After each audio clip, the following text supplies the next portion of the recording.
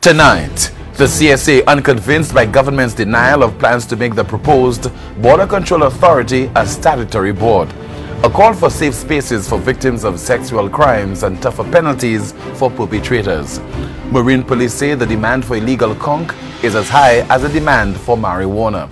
And the St. Lucia National Trust revives debate on the proposed dolphinarium following reports that the project will go ahead in spite of opposition to its completion.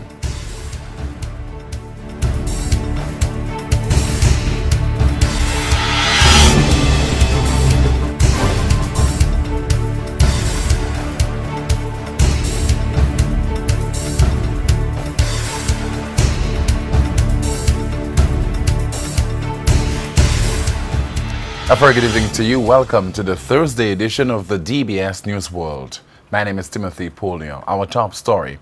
The. Lucia Civil Service Association continues to demand answers from the Prime Minister about plans for the proposed Border Control Authority and how it will impact members employed with the Customs and Excise Department. The union is particularly concerned about a cabinet conclusion referencing the Border Management Authority as a statutory board. DBS's Sheffield Gillard begins our news coverage. CSA President Cyprian Montrope had a few pointed questions for the Prime Minister over the proposed merger of the various entities. He says as long as the merger will not affect the CSA's members and everything is done above board, the CSA has no objections to the creation of the new entity. However, the suggestion that the Customs Department be operated as a statutory corporation does not sit well with the CSA. The reason why customs is in government hands is to in insulate it from private interests. As we all are aware, government are not importers. Government is merely a facilitator of business and, and other activities. The private sector, on the other hand, are importers, and therefore from the moment we statutorize, begin to use the terminology statutorization, it means it would be run managed by a board. Most boards would have private persons sitting on it. And the question would now be asked, whose interest would they be pushing? Would they be pushing the state's interest or would they be pushing the private interest? Such actions must be safeguarded against, the CSA president noted. From the moment there are private sector influence and interest, it creates an issue for the bottom line of the workers in St. Lucia who are employed by the state, and by extension, the people who expect to get service from the revenues generated by the state.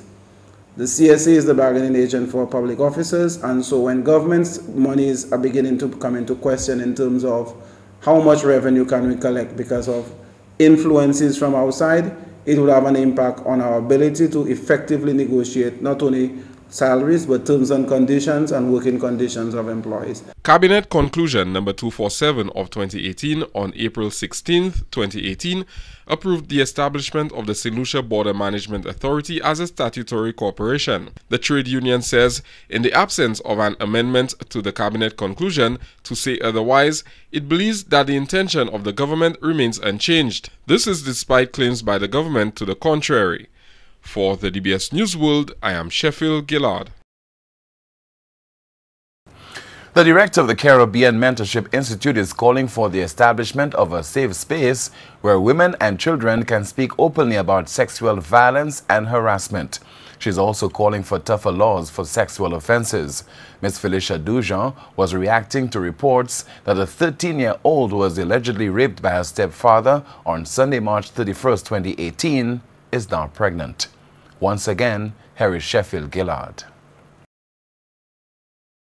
The incident, which occurred in the south of the island, has left many unanswered questions, including about how effective the island's social programs are and what avenues are there for young and abused victims seeking help after such attacks. Felicia Dujo says there are victims who want to speak about their experiences but have no avenue through which to do so. She has described the attack on the young lady as quite unfortunate. It's very unfortunate what we've heard with 13-year-old being pregnant at four months.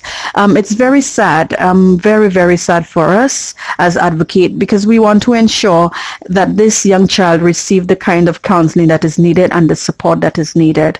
Um, it's a very traumatic experience um, for a young child to endure the type of experience that she has had. The alleged attacker eventually turned himself into police accompanied by his lawyer this after the girl's father reportedly filed a complaint with the police. The stepfather reportedly escaped police custody during a visit to the scene of the alleged crime. Dujo says this and other similar incidents underscore the need for stricter domestic violence legislation on the island. We want to ensure that those perpetrators and those alleged perpetrators are caught and brought to justice.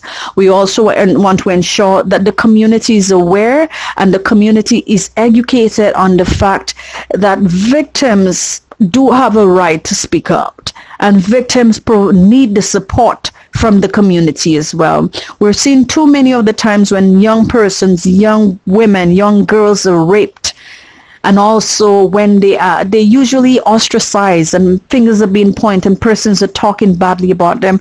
We need to deter from that. We need to deter what we call victim blaming. Dujo believes people need to start talking about child sexual abuse and gender-based violence.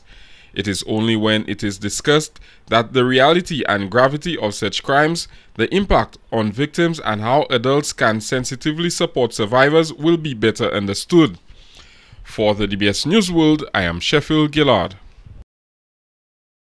In other news, cooks within the Student Welfare Unit of the Division of Education had their hard work throughout the years recognized recently. That's when the department held a special awards ceremony for them. More in this report.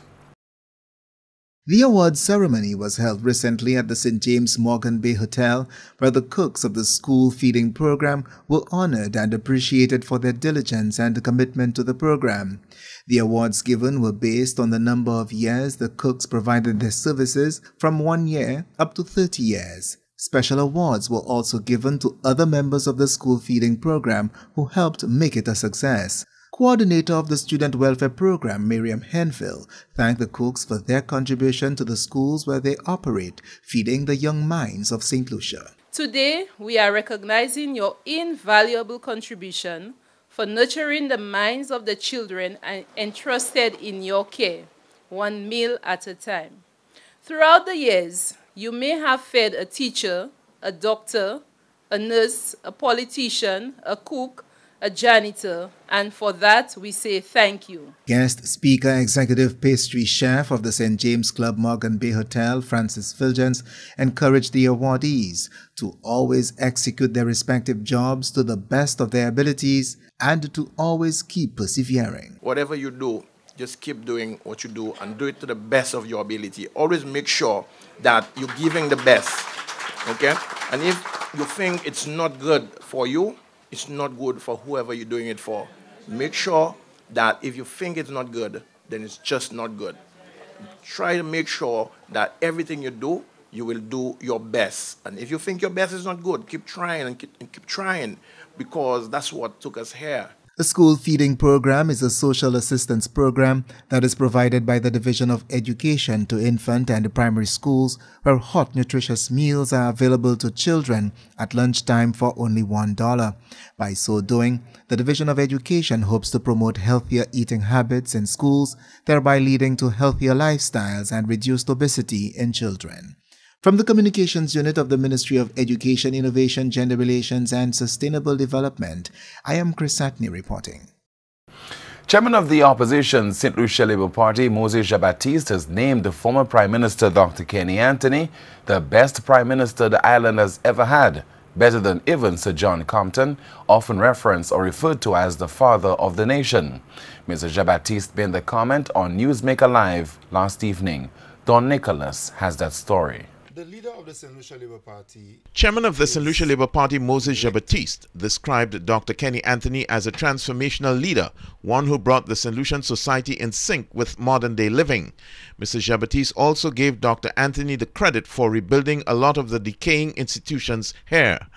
In his view, Dr. Kenny Anthony would go down in history as the best prime minister that St. Lucia has had. Dr. Kenny Anthony served brilliantly as prime minister of St. Lucia.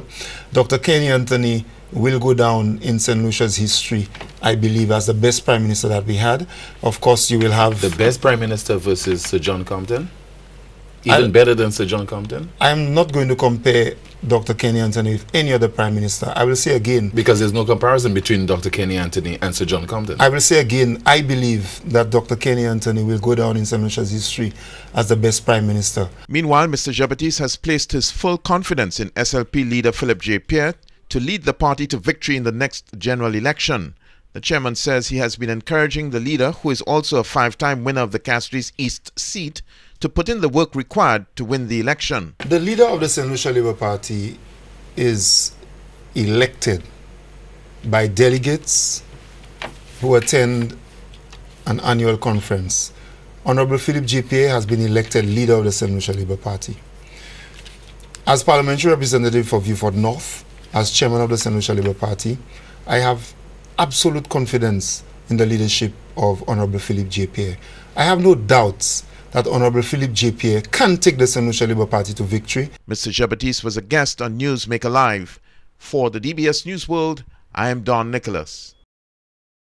Still in the first segment of the broadcast, Street Vibes. Hi, I'm Alex Bousquet, and you're watching Street Vibes. In your opinion, who was a better Prime Minister, Dr. Kenny Anthony or Sir John? I think it's a very difficult question to answer because each prime minister come with their own way of doing things. Of course, Sir John had been there for a frightfully long time and being the father of the nation established a number of things which is now pertinent and which makes our country what it is at the moment. If one is going to actually say that, that Dr. Anthony and Sir John is better than the other, I think that on the what basis um, would one say this? Uh, because you're working in a different era. Uh, so John did what he had to do in the era that he was there, and Dr. Anthony did what he had to do in the era that he was there. You have to look at it in terms of um, work done.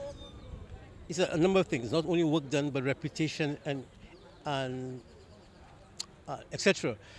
Kenny Anthony has been there half the time, half the time as Sir John.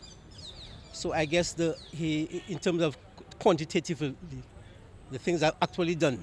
You would say that Sir John was a better prime minister, but in terms of quality of leadership, I think you go it goes to the other side. So it's a kind of a balance. It's not. If you have to talk about the holistic picture, I'll take. I'll probably bias to, to um, Kenny because of my own philosophy. But if you talk quantitatively, what is done in the country over the past few years, I would say Sir John. I think it's Kenny. And after is um, John Compton. Why you think it's Kenny? Because Kenny run down the, uh, the, the, the, country much, much better than um, than um, Compton. Well, to me, it have to be the years of serving the nation because to me, 30 for 30 years, I think Sir John served. To me, for the 30 years, nah. For the 15 years of Kenny, Kenny was a better prime minister. To me, yeah, Kenny was a better prime minister. You got to give Jack his jacket, you know.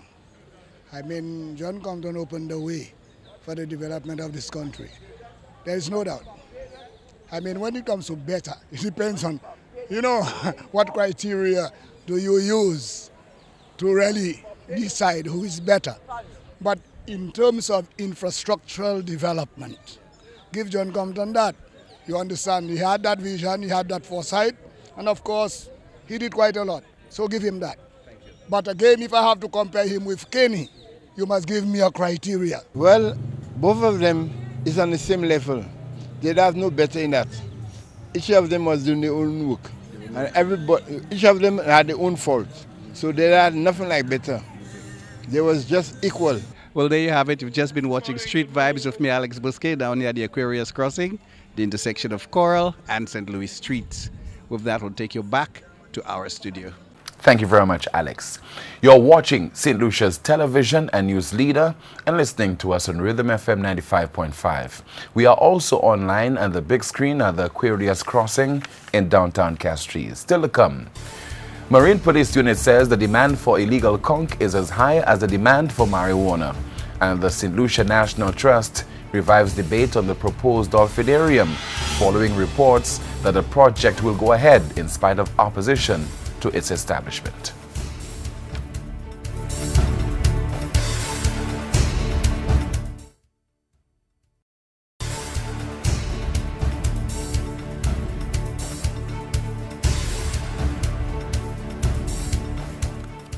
The Marine Police Unit says it has seized more conch at sea than marijuana.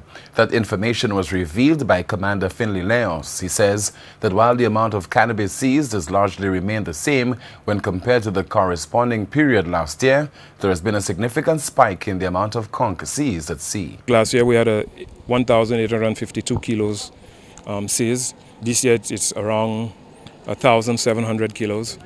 Um, what we have seen a huge increase in is the amount of conch um, that we have been able to, to seize out at sea. Um, and we do that because um, conch is protected by CITES and there are certain certificates and permits, licenses that you must have to import or export conch. And in most of these cases, that they, these individuals did not have the requisite paperwork to have for the conch that they had in their possession. Um, I think we brought in something like five, in excess of 5,000 5, kilos for the year. Added to that, according to the law enforcer, a total of 300 pounds of undersized lobsters were confiscated from vessels. Our role is all encompassing. It's just not anti narcotics and that sort of thing. We, we are engaged in a whole variety of issues. Conch is considered a delicacy and can attract high prices for their shell and meat. They are in especially high demand in the French territories. As part of the St. Lucia National Trust's efforts to stop the establishment of the Dolphinarium in St. Lucia, the public is being invited to the free viewing of the film Dolphin Dilemma, the Antigua and Barbuda story on Wednesday, September 5, 2018. The film highlights the dangers of keeping dolphins in captivity. Governments around the world are recognizing that dolphins do not belong in tanks. Chile, Costa Rica, and Croatia all have banned the keeping of dolphins in captivity. Since then, India has followed suit. Brazil, Luxembourg, Nicaragua, and Norway have also enacted restrictive standards that make it nearly impossible to keep dolphins in captivity. The last dolphinarium in the UK closed more than 20 years ago. Here is Don Nicholas with more.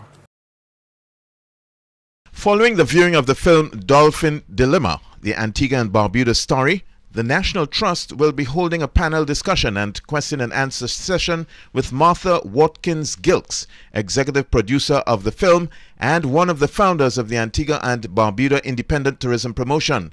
The intention is to expand the film to tell the Caribbean story in the hope of preventing the opening of dolphinariums as tourism attractions. Dolphin prostitution, as Watkins Gilkes dubs it, continues to be a lucrative business but she says the damage to the dolphins, the environment, and communities outweigh the profits. So we're hoping that people will come out in large numbers to learn from Antigua what they went through with their their dolphinarium situation, and um, so we basically don't repeat the same errors. In light of the initial plan by the developers, the trust fears that the project would do more harm than good for the tourism industry and would also affect the marine ecosystem and the livelihoods of close to 100 fisher folks and their families. Beachgoers in the north would also be affected as the water quality would be compromised due to dolphin excrement. The trust says attempts to obtain more information on the project have been futile. Whilst we don't have a lot of information and we have written to the authorities to get this information, it has been somewhat futile, but we were informed earlier this year that there will be plans to um, go ahead with the Dolphinarium. The free viewing of the film Dolphin Dilemma is slated for Wednesday, September 5th, 2018 from 6.30 p.m. to 8.30 p.m. at the Finance Administrative Center, Pointe Seraphine, Castries. For the DBS News World, I am Don Nicholas.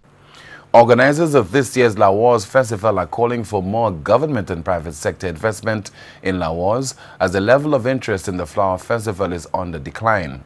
Officials say all the emphasis is being placed on other events like the Jazz Festival and Carnival, while the island's unique cultural heritage is being allowed to perish. Don Nicholas explains. The Lawas Festival involves costumed characters performing dance, play acting, and masquerading in the streets. The festival, which has been in existence for decades, also involves live demonstrations of the preparation of local cuisine. But Lawas authorities are not happy with the level of investment in the festival, and because of this, they say public interest has waned. They feel that other main events are getting all the attention. I would just like to have the powers that be invest a deeper sense of acknowledgement and development into the flowers because this year the support that we have is at a minimal level. The Dennery Lawas Queen says the festival contributes significantly to St. Lucian culture. And our flower festivals contribute significantly to the very essence of who we are as St. Lucians. It is actually our identity. It contributes to our identity. So no, I do not see any increase in the hype. I actually see a decrease in recognition for the flower festivals, for both of them, La Rose and Marguerite. This year, Lawas activities were hosted in Mon Repos. For the DBS News World, I am Don Nicholas. The island's Minister for Health and Wellness has called on St. Lucians to be more optimistic about the outlook on HIV epidemic. While the number of people with HIV has slightly decreased in the region due to increased access of antiretroviral treatment, structural factors such as stigma and discrimination, gender inequality, and the presence of punitive laws continue to limit progress toward eliminating the epidemic. More in this report. The fear surrounding the emerging HIV epidemic in the 1980s largely persists today. Michel Sidibé, UNAIDS executive director, said, We must not be scared of the future. If we quicken the pace, we can reach 40 million with HIV treatment by 2020, unquoted. HIV is not a death sentence, with the spoken words of Health Minister, Senator the Honorable Mary Isaac, Whilst addressing media personnel at the Caribbean Cytometric Analytical Society 15th Summit opening cocktail reception in St. Lucia. We still have so much stigma attached to persons living with HIV to the point where a lot of people do not even want to come out to be treated.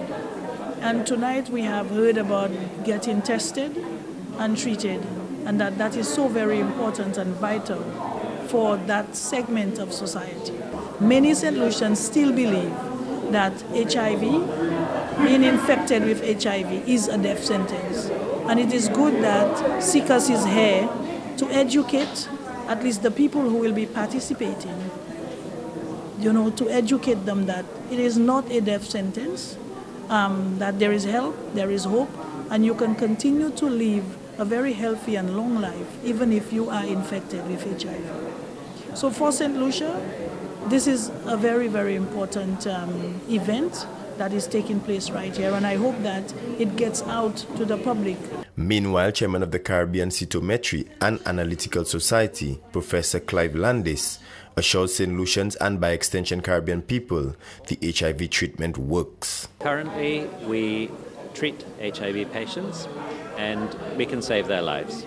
And I want to just repeat that because it's very important.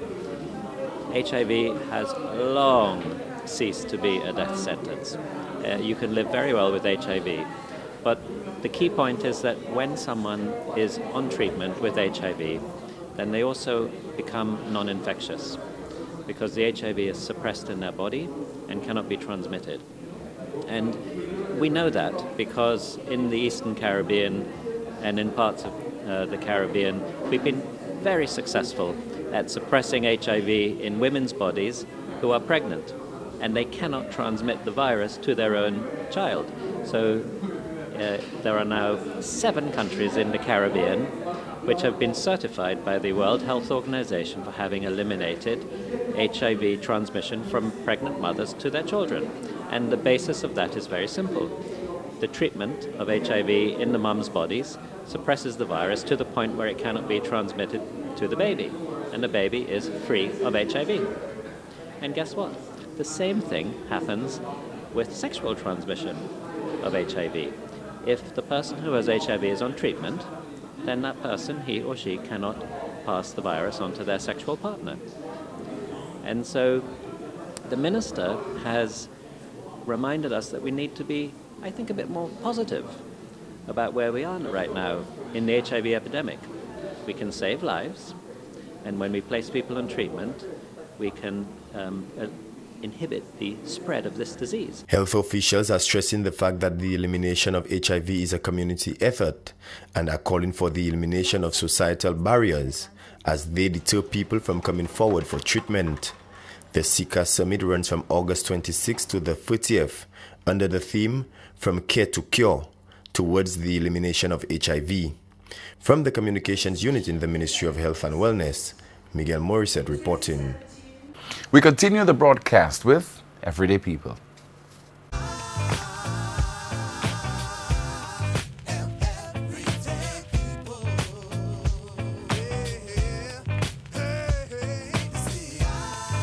Meet Lydia Placid, a businesswoman who says she got up and about selling food items when her shop did not do very well in her community. Actually, I'm always a businesswoman, and um, I had a shop before in my in my neighborhood, and things was very slow.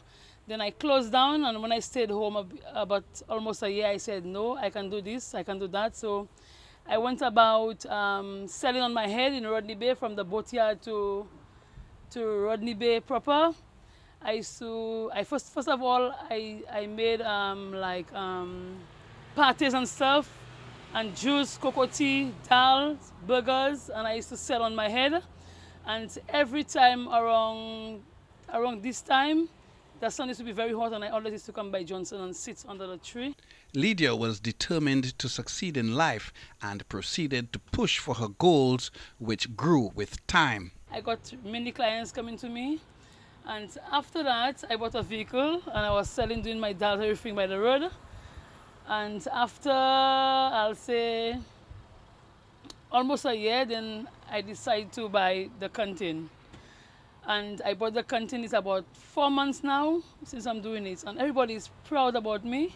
I get customers all over, those that come from Castries, Rodney Bay, they come to support me in Gros Islet, Cap Estate, everybody support me. As business sped up, Lydia eventually employed a helper. I do this alone, and now I have a client. She just went out. She's, she's a helper for now, and I'm doing very well. But I want to encourage St. Lucians, young people, even parents that always say things are hard and they say there is no jobs. But just put pride aside and come into the business. You can do anything to survive. It can be dolls, it can be sea moss you make, it can be ice lollies, pass around and sell. And first of all, you have to serve the Lord. Give God a chance in your life and repent, be baptized, serve the Lord, and He will bless you. When she started carrying her food items on her head in the blazing sun, her husband was not in favor of the idea, but Lydia was determined to succeed in life. Yes, on my head. And my husband wasn't happy about it because I, I told him that I have no pride. Right now, I'm going to survive. And God blesses me. I got my vehicle, it's out there. I got the canteen, and I'm doing pretty well. So I just want to encourage other parents put pride aside and do something for a living. Lydia Placid hails from the community of Riviere Miton and operates outside the Johnson's Hardware in Rodney Bay. She is open daily from Monday through to Friday. For everyday people, I am Alex Bousquet.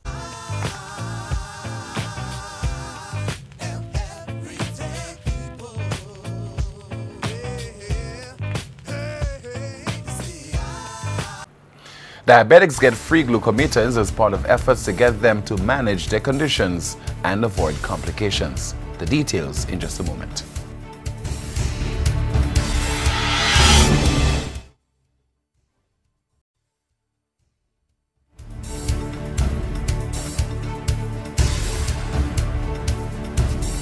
Scores of diabetics gathered outside the doors of the Bon Santé Medical Facility on Chisel Street yesterday for the free distribution of glucometers, an apparatus used to check blood sugar levels.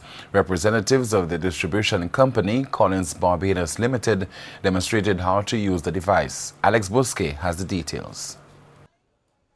As the diabetics lined up to receive their free glucometers. A representative of the distribution company, Collins Barbados Limited, explained and demonstrated to them the proper way to use the meters and to dispose of the used strips and needles. Basically, I showed the persons how to use their meter so that when you get it, you know how to do the correct testing because you know knowledge is power. So if the person doesn't understand how to use the meter, then they can't test their blood sugars regularly, which they do if they're living with diabetes. So it was basically just a brief demonstration on how to turn your meter on, how to do the testing on your finger, and then how to discard of the various apparatus when you were finished using it. Collins Barbados Limited has been supplying the entire Eastern Caribbean with glucometers. So far, the outreach program has gone to St. Vincent and the Grenadines, St. Kitts, Nevis, Grenada, and now here in St. Lucia. Mrs. Grinnett says it is sad to see the number of diabetics all over the region. Unfortunately for our Caribbean, we have a number of diabetics throughout the entire region. And what I've realized from interacting with them is that a lot of people don't take the care that they should of themselves once they're living with diabetes. And I've realized over the years that if you take care of yourself while you're living with diabetes, you can go on to have a very productive life. You have diabetes, diabetes doesn't have you. So it's a whole mentality thing, how you choose to approach it. This session here this morning is really so that we could reach out to those people who are living with diabetes and who need to keep checking their blood sugar as often as they need to. So we're hoping that with this initiative we could create an awareness and have people uh, increase the checking of the blood sugar and that could they could be on top of making sure that the um, blood sugar is under control. Uh, apart from that, we also wanted to to give people a more a better understanding of how to use the machines so that they would have more successful um, use of the machines and also we would hope that in the future they would not have a problem with obtaining strips. With just over 200 glucometers distributed, the diabetics will now be able to do their own regular blood sugar level checks and live a healthier lifestyle knowing their status. For the DBS News World, I am Alex Bousquet. We continue the broadcast with news that the Body Holiday and Rendezvous Resorts yesterday presented 37 scholarships to children of employees of the two resorts. The scholarships were presented at a short ceremony. The 37 students were awarded scholarships valid for one year.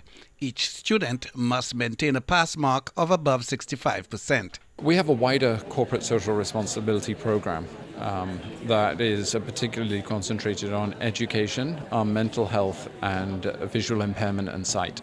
Um, and those are the three areas that we concentrate on um, in our corporate social responsibility. Um, it's just part of looking after our community. In the modern world, uh, you know, private enterprise has to step in to um, look after the people uh, who work in their organizations. You know, um, I believe that, uh, you know, if you look after your people, the people look after you. Mr. Barnard says the scholarship program also makes good business sense and is a way of rewarding hardworking employees and their families. The students have to achieve a 65% or above pass mark. Um, if on any given year they fall below that, then and above 50%, then they are given one grace year where they get 50% of the scholarship amount. If they then do not achieve their 65% again, they are then falling off the scholarship. They will fall off the scholarship and not qualify. Um, we recognize that, you know, people have difficult times and difficult circumstances that can, you know, affect kids' grades. Um, but the whole idea of this is that we're actually encouraging and rewarding those students who really want to work hard in the long term. As the ceremony ended, students were reminded of the importance of a good education. For the DBS News World, I am Alex Bousquet. Sports is next when the DBS News World continues.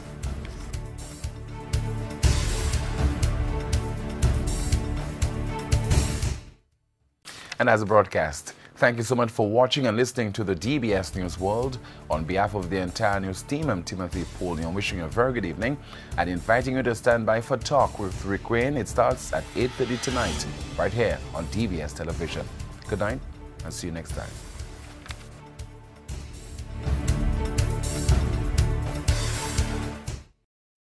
The CSA unconvinced by government's denial of plans to make the proposed Border Control Authority a statutory board. A call for safe spaces for victims of sexual crimes and tougher penalties for perpetrators. Marine police say the demand for illegal conch is as high as the demand for marijuana.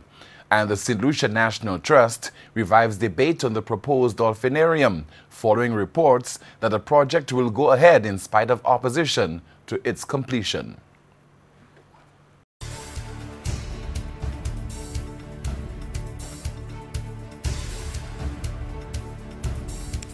Finally, from us on the lighter side.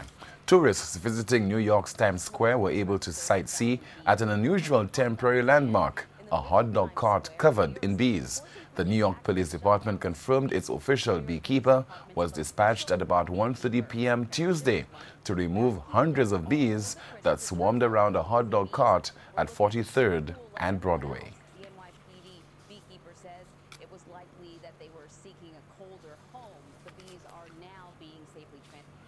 Time now for the usual reminder.